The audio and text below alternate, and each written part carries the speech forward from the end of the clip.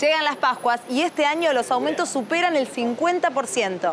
Recorremos los comercios de La Matanza para conocer los precios de tu barrio. Los precios aumentaron el doble a comparación del año pasado. Eh, nada, están acá, por ejemplo, tenés 900, 950. Estamos hablando de un 80 un 90% en algunos de los casos y en algunos casos mucho más. ¿Hay opciones de eh, huevos de Pascua más chiquitos, más económicos para aquellos que tienen que hacer muchos regalos? Obvio, obvio. Además también, por ejemplo, acá hay promociones de llevas dos, te sale tal precio, tres, llevas tal precio.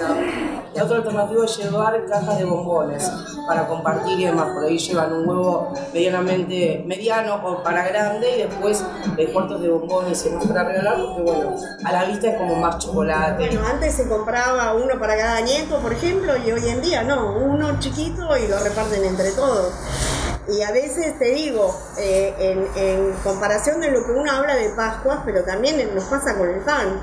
Eh, pero bueno, también, o sea, la gente por ahí te dice, che, qué caro que está, pero lo compra igual porque, nada, es mucho más barato que comprar una de marca. Lo disfruta también por lo que tiene que comprar, pero cada vez compra menos. Contanos cómo está el precio del pescado hoy en comparación a la misma época del año pasado.